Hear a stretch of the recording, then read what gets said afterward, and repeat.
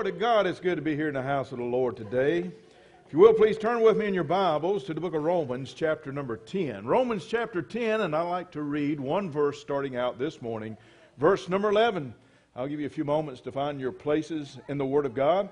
Good to have with us this morning a good number of visitors. God bless you for being here today. And I think some of the visitors come as far out as Oklahoma. Oklahoma. All those from Oklahoma, how about standing up there? Let's see how many come from Oklahoma. Look at there. Praise God. Amen. Amen. Praise the Lord. Praise the Lord. Johnny, do we have a prize for them? Nah. Okay. Well, we're glad you come anyway. Amen. All right. Well, let's all stand together now, those that are able, as I read from the precious Word of God. What an exciting day this is. This is the day that the Lord hath made. Let us rejoice and be glad in it. Let's look at verse number 11. And verse number 11 of chapter 10 says, For the Scripture saith. Now, the Scriptures, of course, as you know, is the Word of God. Amen. So when God says it, it's settled. And there's no doubt about it that God says what He means. So here we have what the Bible says, For the Scripture saith, Whosoever. Now, who is He speaking there to? He's speaking to everybody. Whosoever. That means you, and that certainly means me. And I'm glad that it includes everybody. There's nobody that cannot be saved. There's nobody, no matter what you've done, no matter what's happened in your life, there's nobody that cannot come to Jesus. There's nobody that cannot be saved. There's nobody that cannot have their sins washed away. There's nobody that can not have their name written down in glory. So if you're whosoever here today, I want you to know that if you're not born again, if you're not saved, you could be saved here this morning. For the Bible says, For the Scripture saith, Whosoever believeth. That's simple, isn't it? I'm glad I didn't have to go to the cross and earn my salvation. I'm glad I didn't have to allow mere Roman soldiers to beat me near to death for me to earn my salvation. Somebody loved me so much that they were willing to go to that cross for me and I believe in the Lord Jesus Christ. Do you know that the word believeth appears 248 times in the Bible? It's an important thing, but it's simple for us to do. What does it mean to believe? It means to accept. To accept as a truth. I'm here to tell you right now that I believe with all my heart that Jesus Christ is the Son of God. I believe it and I'm not ashamed of it, for the Bible goes on to say, Whosoever believeth on him shall not, what church? Shall not what, church? Shall not what, church? Amen. Our Heavenly Father, what a privilege you've given us to be here today. And already, Almighty God, you have stirred my soul. Lord, I'm thankful for your presence, dear Heavenly Father, in my life and also around us as well. Lord, we're thankful for your word, which gives us so much encouragement, so much direction for our life, even corrects us as we need it, dear God. And Lord, we come before you, dear Heavenly Father, today, relying upon what the Scripture saith. And the Scripture saith, dear God, that whosoever believeth, and I'm glad that one day that included me, dear God. And I'm glad that today I believed in Jesus Christ. I believe He is your Son. I believe that He did come to the cross of Calvary. I believe He did die in agony and pain there for the sins that I had committed. And I'm glad today I'm saved. Lord, I pray if there's anybody here this morning or in churches like this throughout the world that if they're not saved, I pray that today that they'll open up their heart. And I pray that today they will believe on Him as their Lord and as their Savior. Lord, use me again this morning. Speak through me, dear God, the words you'd have me to say. And God, I'll be more than careful to give you all the praise and honor and the glory. For these things I ask in Jesus' name. Amen and amen. Amen. You may be seated today, and truly, what a powerful verse of Scripture comes right out of the Word of God. It's right out of the Bible. It's as if though God was standing before you today and telling you these exact words. That's how powerful the Scriptures of God is. And that's how much we can rely upon what the Bible says. It's easy. It's easy, really, truly, it should be easy to tell whether or not you are saved. You ought to know whether or not you're saved, but you want to know something? I imagine that there's a lot of people here in this auditorium today that are not sure that they are saved. There's a lot of people today who are waiting to get to the pearly gates and hope that St. Peter somehow or another is going to allow them to enter in, but that's not how it works at all. You're either saved before you leave this world and you're either heaven bound before you get out of this world, or you're not going to heaven whatsoever. So today it's very important that we rely upon what God says, not what I say, not what anybody else says, but upon what the Word of God says today. And the Word of God clearly says, For the Scripture saith, Whosoever believeth on him shall not be ashamed. Now, let me ask you a simple question here this morning. Are you ashamed to let people know that you are a believer? Are you ashamed to let people know that you go to church?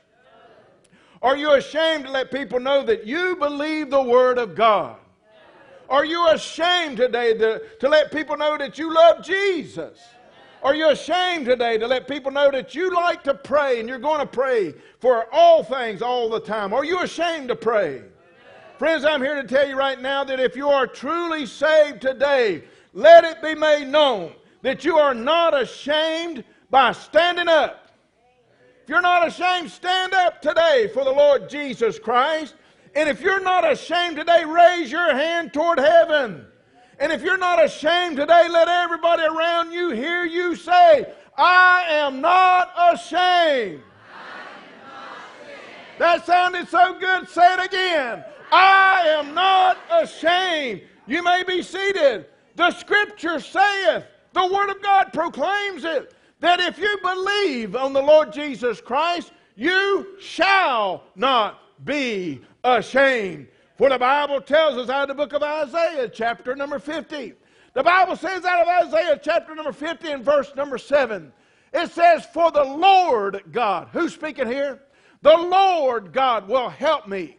Therefore shall I not be confounded. What does the word confounded mean? It means to be confused. It, it, it means to uh, be ashamed. It means to doubt. Friends, I'm glad today, thank God, I don't have to doubt whether or not I'm saved. I don't have to be confused as to whether or not Jesus is going to keep his word when he says that if thou shalt confess with thy mouth the Lord Jesus Christ and believe in thy heart that he is risen from the dead, thou shalt be saved. I'm glad I don't have to wait till I get to heaven to find out if I'm going to get to stay there. I'm glad I don't have to worry about winding up in hell, period. I'm not going to hell, period. I'm heaven bound, I'm telling you right now, because of Jesus Christ, the Son of God, dying on the cross of Calvary. And here Isaiah is saying, shall not be confounded. A lot of people today are confused. They don't know how to be saved. A lot of people say, say that, well, you got to do this, you got to do that. I'm telling you, the Bible says it's not a works lest any man should boast. It's of grace, by grace, through Jesus Christ, our Lord and Savior. Therefore, have I set my face like a flint, and I know, I know that I shall not be ashamed. I'm glad today that I'm not ashamed of the Lord Jesus Christ. The Bible goes on to say in the book of Philippians, chapter 1, and in Philippians, chapter number 1, beginning in verse number 40, the Bible says, according to my earnest expectations and my hope, that in nothing I shall be ashamed I'm glad today that I don't have to be ashamed about anything that God does. I'm not ashamed to proclaim that God created this world in six days. I don't have to bow my head and think that, well, I come from monkeys. I'm not ashamed to say that God created man out of the dust of the earth. I'm not ashamed to say that God took a rib out of Adam and created woman. Woman means from man, not from monkeys. It means from man. I'm not ashamed to say that my God can part the Red Sea. I'm not ashamed to say that my God can send down manna from heaven. I'm not ashamed to say my God can raise the dead. I'm not ashamed of anything that my God does. I'm not ashamed to proclaim Jesus as my Savior.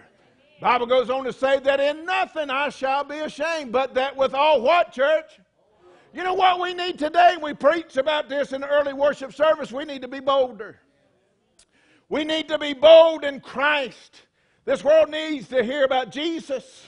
This world needs to hear that there's still some who really believe that He is the I am, that He is the creator of all things, that He's coming back one of these days. I'm not ashamed of that.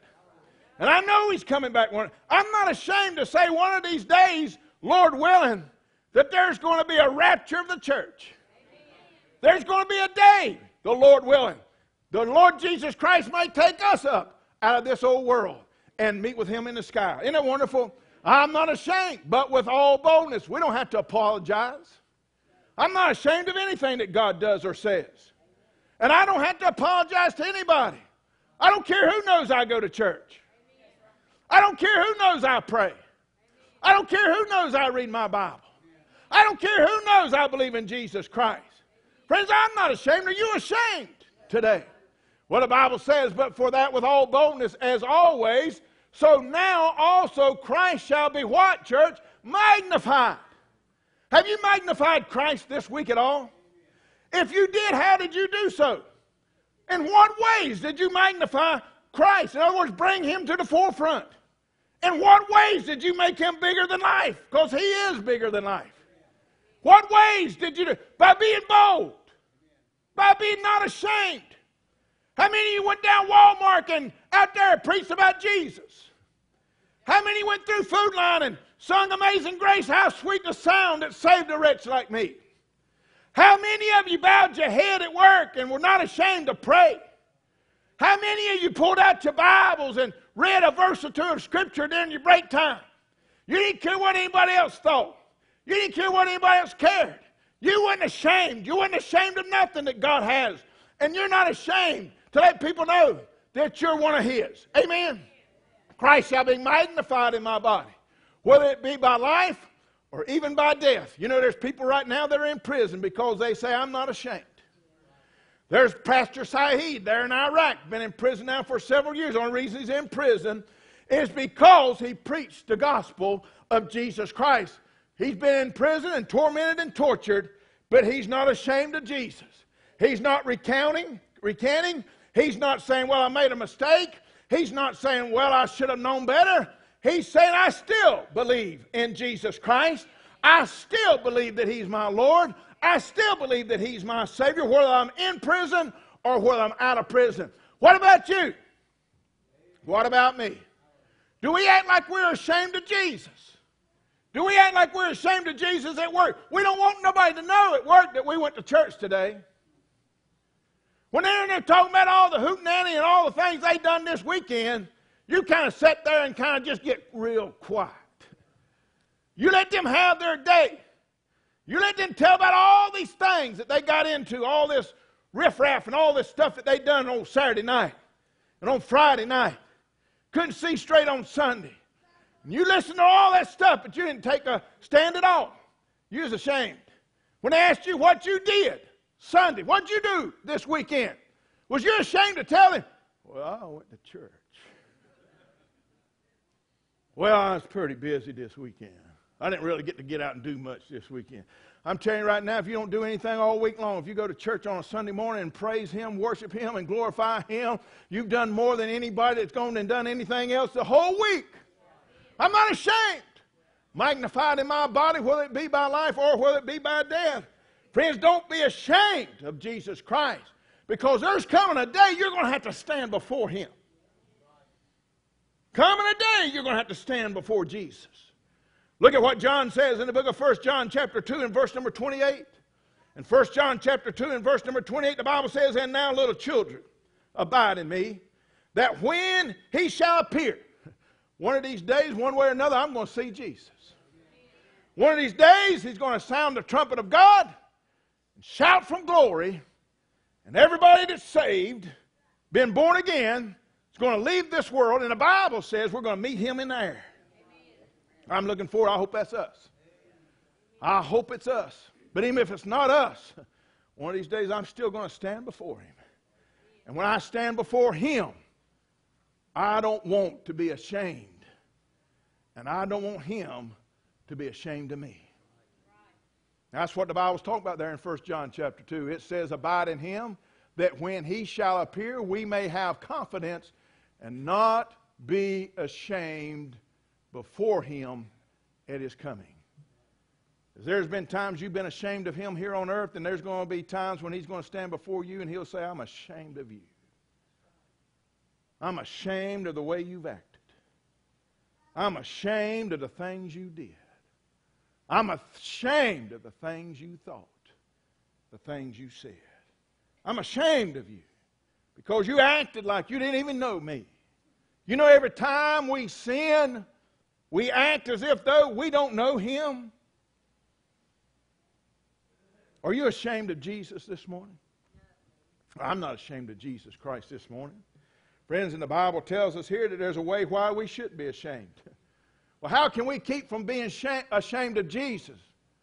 Well, I want to tell you something that happened to me when I got saved 37 years ago. It happened that when I got saved 37 years ago that God changed my life. Now, I want to tell you something. If God hadn't changed your life, if you're the same old person that you've always been, you better check up to see whether or not you've really been born again. Born again really means that you've been through a stage of metamorphosis, that you went in an old squiggly worm and you come out a butterfly. Well, when I got saved, I was just an old wretched sinner, but when I got saved, I want to tell you something, I come out a whole lot different. I'm not perfect by no means, but I want to tell you something, God changed my life. And I'm not ashamed of God being able to do something for me that I couldn't have done for myself. There was many times I tried to walk away from this type of sin or that type of sin. I couldn't do it in my own power. But I'm telling you, when that day come, when Jesus Christ come into my heart, come into my life, Jesus Christ changed my life. Has there been a drastic change in your life? Bible says in 1 Corinthians chapter 5, verse number 17, Therefore, if any man be in Christ, he is a new creature. All things are passed away. Behold, all things are become new. So here we find that there's two simple ways to find out for sure as to whether or not you're really saved. Number one is if you are ashamed of Jesus, you're not saved. For the Bible says, Whosoever believeth on him shall not be ashamed. Didn't say will not at times be ashamed. Didn't say on occasion will not be ashamed. It says you will not be ashamed. Another way you can tell for sure whether or not you are saved is that there's been a transformation in your life. Old things have passed away, and all things have become new. You've been given a second chance at life. Amen. You've been born again. When I look at a passage of scriptures here and I see that in Acts chapter 1, verse number 8, something marvelous happened 37 years ago when I got saved. 37 years ago, I got saved, and when you got saved, truly saved, truly born again, the same thing happened to you. Bible says, but you shall receive power. Whew. How much power you got on you? If you ain't got no power on you, then it's because you ain't saved. Because the Bible clearly says there was something that happened when you got saved. All things passed away, all things become new. But there's something else that happened when you got saved. The Bible says you shall receive power after that the Holy Ghost has come upon you. And you shall be a witness unto me both in Jerusalem and all Judea and Samaria and unto the othermost parts of the earth. I want to ask you something. How, what kind of a witness are you? Don't you have the power of God on you? The Bible says that when the Holy Spirit of God comes upon you, and the Holy Spirit of God comes upon every born again believer. You believe that? What, know you not that your body is the temple of God? The Holy Spirit, God's Spirit, comes upon every believer. And when God's Spirit comes upon every believer, God empowers that believer. God gives that believer an unusual ability to do what? To be a witness. To be a witness for who? Jesus. Let me ask you something. Who'd you witness to this past week? Last week, two weeks ago. When's the last time that you boldly proclaimed Jesus Christ as your Lord and Savior? And I hope that it's more often than just right here in the church. But sad to say, in a lot of cases, people, even in the church, are ashamed of Jesus. What will people think if I raise my hand? What will people think if I say amen? What will people say if I act like I enjoy being in church today? Are you ashamed of Jesus? Are you empowered by the Holy Spirit to be a witness for Him? Friend, Paul had a great boldness. And you want to know one of the reasons he had a great boldness? We found out in early worship this morning is because he asked the church at Ephesus to pray for him. that he be given utterance, that he be given boldness. You know what the church of Jesus Christ needs today is boldness. Boldness to bear witness of Jesus Christ. For Paul says in the book of Acts, chapter 4, verse number 29, And now, Lord, behold their threatenings. You stand up for the Lord, I'm going to tell you right now, it's not going to be an easy road. But Paul said, And now, Lord, behold their threatenings, and grant unto thy servants that with all boldness they may speak thy word. We need boldness again in the church. People that are not ashamed of Jesus Christ. Romans chapter 1 and verse number 16 says, For I'm not ashamed of the gospel of Christ, for it is the power of God unto salvation to everyone that believeth, to the Jew first and also to the Greek. I want to tell you in verse number 16 of Romans chapter 1, there's a strong message there and that strong message is empowered by God. What is this strong message that is empowered by God? It is the message of salvation. And the message of salvation needs to be proclaimed throughout the world. A lot of churches have abandoned the thought that people really truly need to be born again. People have abandoned the thought, the gospel of Jesus Christ, and they turn to prosperity, and they turn to psychology, and they turn to all these other kinds of things when they'd better get people saved first then they can get their life straightened out. But there's a powerful message in Romans chapter 1, 16, and it is the power of God to preach about salvation to everyone that believeth. I like what Bible what the Bible says in Romans chapter 9, verse 33. The Bible says in chapter 9, verse 33, I'm not ashamed. As it is written, Behold, I lay in Zion a stumbling a stone and rock of offense. Whosoever believeth on him, here it is again, shall not be ashamed. Are you ashamed of Jesus? Are you ashamed of Jesus at the restaurant? You won't pray? Are you ashamed of Jesus at the workplace? At school? Are you ashamed of Jesus? Are you ashamed of Jesus when you get together with your family? Are you ashamed of Jesus?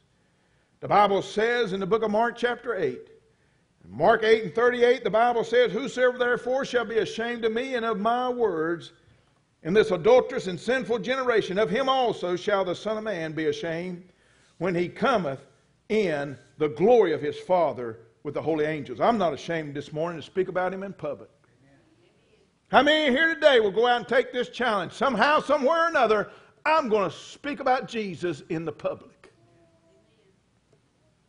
How many's going to accept that challenge this morning? I'm going to speak about Jesus somewhere, somehow. It might be at Walmart, it might be at Food Lion, might be at Lowe's, might be at a ball game, it might be walking down the street, might be at Ryan's, it might be wherever.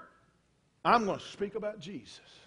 I'm not ashamed to speak about Jesus in public, and I'm not ashamed to pray. Amen. I'm not ashamed to pray. I don't have to be ashamed when God says this is something we ought to do. I'm not ashamed to shout. What about the rest of you? Are any of you ashamed to shout? Are you ashamed to praise Him? Are you ashamed to worship Him? I'm not ashamed. I'm not ashamed. We have some that are coming this morning who are professing that they're not ashamed. They're not ashamed to commit their life to Jesus. They're not ashamed to stand before you witnesses this morning and proclaim that they believe Jesus Christ died on the cross of Calvary. They're not ashamed to tell you that they believe that Jesus Christ was buried. They're not ashamed to tell you that they believe that Jesus Christ overcome the grave, overcome death, hell. He overcome it. Jesus Christ is alive today. They're not ashamed. I don't have to apologize for that. My God's alive. Jesus is alive. I'm not ashamed. I'm not ashamed. Friends, I'm not ashamed to share the Word of God. I'm not ashamed to praise God. I'm not ashamed of the things of God. And people that are coming this morning to be baptized or proclaiming that they're not ashamed to proclaim that Jesus Christ died on the cross of Calvary. Now, how are they going to show that they're not ashamed this morning when they come to be baptized in just a few moments? First of all, they're going to enter into the water. In a few moments, I'm going to submerge them in the water. The word baptize literally means to put under. That's the Greek meaning of baptism. The Greek meaning of baptizing is to put under or to bury. That's exactly what I'm going to do here in just a few moments. I'm going to bury some people. And when I bury them in the water, I'm going to put them under. They're signifying that they believe that Jesus Christ died on the cross. How are they going to signify that Jesus Christ died on the cross by me putting them underwater? Because for a few moments they're going to cease to breathe. For a few moments, a couple of seconds at most, I will take a cloth and I will place it over their nose and I'll place it over their mouth. I know a lot of people think, well, that's to keep water from going up their nose and so forth and so on. Well, it might serve that purpose, but it's symbolic of burial cloth. And I'm going to place that burial cloth on some people's faces this morning. And for a few seconds, they're going to cease to breathe, symbolizing death. The death of Jesus Christ, the death of their old life. And then I'm going to bury them. And when I put them under the water, they're going to signify and they're going to shout, they're going to say to everybody here in this service today, I believe that not only that Jesus Christ died on the cross, but I believe that they took his body off of that cross and I believe they buried his body in a tomb. And I'm going to put you in a tomb this morning. I'm going to put you under. I'm going to cover you up. And everybody here is going to bear witness. They believe. A lot of people get baptized, they don't even know what it's about. Especially younger children, they get baptized and they don't have a clue. They just go through the motions up, they don't understand it. I like what Brandon said this morning on the phone. He'd been baptized previously. I've been baptized previously before I really was saved. He said, I think his grandfather or grandmother told him, he said, Well, you got dunked the first time. But now you're going to be baptized. So there's a difference between being dunked, just going through a traditional formality, than to really understand what it's all about. And so this morning, when I bury these, I'm also going to bring them back up. They're showing that they believe that, yes, Jesus Christ died on the cross. They're showing that they believe that he was buried but they are also going to show that they believe that Jesus Christ arose from the grave. And when they come up out of that water, we'll bear witness with God because God will be watching. We'll bear witness with Jesus Christ because Jesus Christ will be watching because Jesus Christ instructed us to follow him in scriptural baptism, not to be ashamed of him.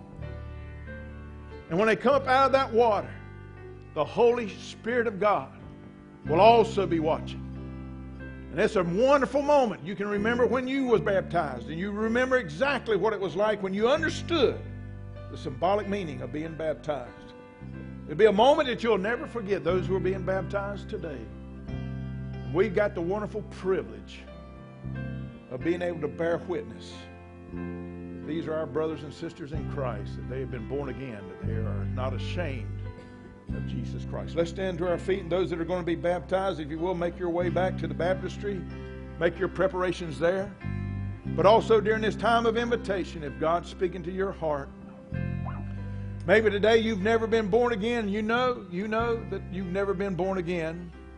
Maybe you're sitting around hoping, maybe you're sitting around thinking that, well, possibly Maybe you're thinking, well, when I get up there to heaven, maybe St. Peter's going to let me in. I'm going to tell you, you're not even going to run into St. Peter at the gate. You're either going to go in or you're not even going to heaven at all.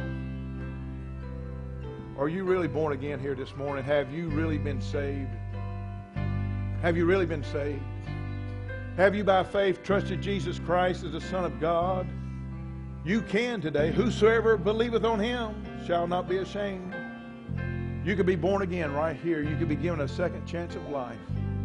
Your name could be written down in the Lamb's Book of Life. You could be assured of going to heaven, but you can also be assured of having the Holy Spirit of God with you right here in the remaining days that you're here on earth. What a blessing. What a wonderful thing it is to be saved. Wonderful thing, but wonderful sighting. Challenging for sure. If you've never been saved, would you come? Maybe today you've been ashamed of Jesus somewhere along the line. Maybe there's been a place, been a time that God's pointed out in your heart. Why were you ashamed of me? Why were you ashamed of me? Or is there any here today that have been ashamed for whatever reason? Why don't you come forward? If there's anybody here today that needs to step forward for whatever reason, would you come? I'm not ashamed of Jesus. And I don't care who knows that He's my Savior. I'm not ashamed to tell people I know He died on the cross, but I'm not ashamed to tell people He rose from the grave either. Why don't you come? Why don't you come? While these are still playing and we're still praying, I'm going to slip out and we'll get into the baptistry here in a moment. God bless you. You may be seated.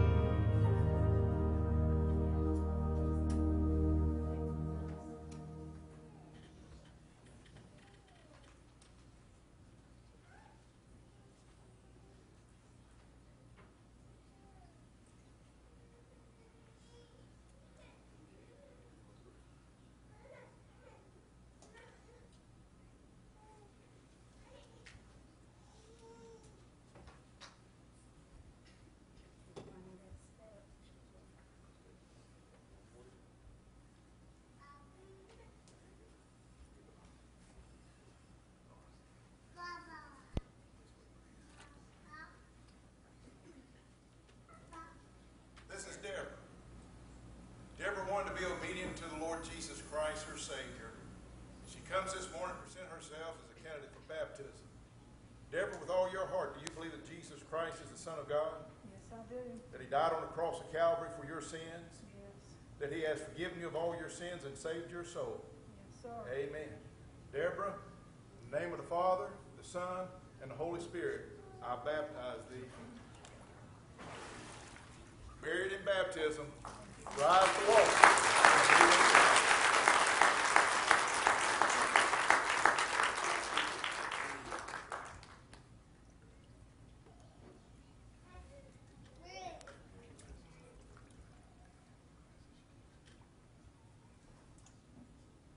Bless your heart, Deborah. Glory to God.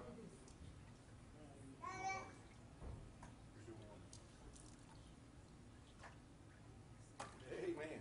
Well, that's so exciting. Woo! I don't know how it feels out there, but I'm telling you up here, I can't hardly stand.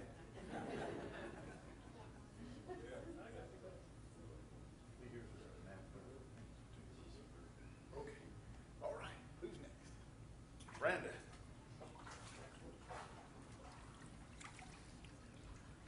This is Brandon.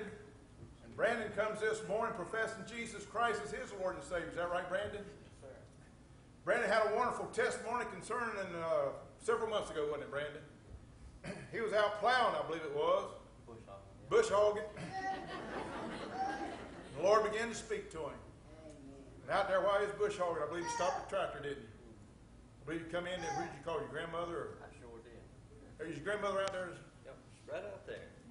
There's our grandmother and grandfather out there. Amen. Stand up, grandma, grandfather. Amen. I know you're proud of this young man. They're also missionaries. Is that right, Brandon? They go around and help build churches. What a wonderful mission that they do.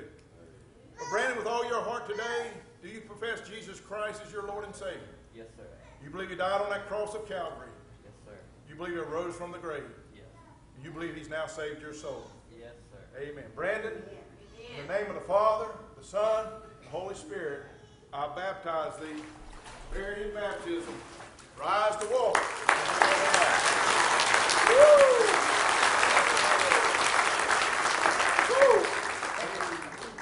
Take that, devil. Right. Okay, Mackenzie. There you go. Warner, Warner. Praise the Lord, Mackenzie. Now this is Mackenzie. Mackenzie come forward last Sunday morning. She accepted Jesus Christ as her Lord and Savior. Is that right, Mackenzie? Amen. So Mackenzie, this morning, with all your heart, you believe that Jesus Christ is the Son of God? You believe that He did die on the cross of Calvary for our sins? You believe He arose from the grave with the power that He has? You believe He has saved your soul and forgiven you of all your sins?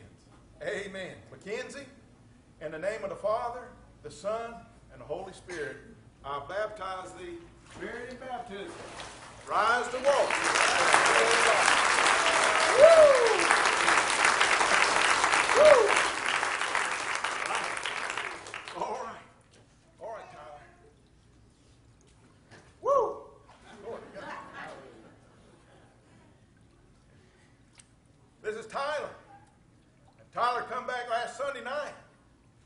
Speaking to his heart. He knew he needed to be saved. So Tyler comes this morning. He presents himself as a candidate to follow Jesus Christ in scriptural baptism. Tyler, with all your heart, you believe Jesus Christ is the Son of God? Yes, sir. You believe that on the cross of Calvary he died for our sins. Yes, sir. You believe that he arose from the dead. Yes, sir. You believe that when you asked him to forgive you of your sins and save your soul, he did exactly that. Yes, sir. Amen. Tyler, you would step this way. Tyler, in the name of the Father, the Son, the Holy Spirit, I baptize thee, buried in baptism, rise to walk in a new way of life. Woo! Woo! What ain't good? What they do at the football games? I ain't ashamed. Well, it's been a great service here already today, and God has blessed in a great and mighty way. I want to encourage you to come back tonight as we continue looking to the Word of God. Lord willing, we're going to be speaking about Has God ever said no to you? Has God ever told you, No, I'm not going to do that? Amen, Brother Bob? Right after service, I'd like to meet with all the veterans for about five minutes. Okay, all the veterans for about five minutes. Let's meet with Bob, all right? Let's stand to our feet. Let's bow our heads and be dismissed in prayer. Our Heavenly Father, what a glorious day you've given us here. We're thankful for your presence. We're thankful for your Son, the Holy Spirit, as well. Thankful for your word, which gives us such instructions for our life. I'm glad today I'm heaven bound, dear God, because of Jesus. And I pray that, Heavenly Father, if there's any here today that for some reason or other didn't step forward, I pray that, God, you'll continue to reach out to them before it's too late for them to be saved. These things I ask in Jesus' name, amen.